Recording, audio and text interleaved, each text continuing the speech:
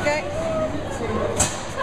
Okay, I'm here in Guildford with Triana and um, I'm just going to ask you a couple of questions. What's the best thing about Ben and Jerry's Free Cone Day? Uh, what's really good? It's obviously good for charity. Um, we split it into um, NSPCC and Variety Club.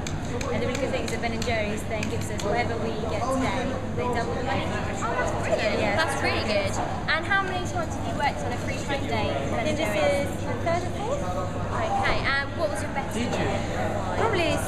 this year because it's been a lot busier and a lot more organised. How many people have been um, been in since 6 o'clock? Would Bearing in mind it's only 10 to 7.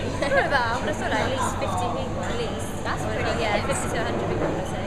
Oh, brilliant. Um, what's the most popular fa- flavour would you say? Phish Food and cookie dough. Phish Food and cookie dough, they seem to be the favourites today. What's your flavour? Um, fairly nuts. Fairly nuts.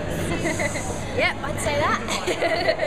and how many perks are there to working with a fruit shop? Uh, we get discounts. So you get 40% discount on your ice cream.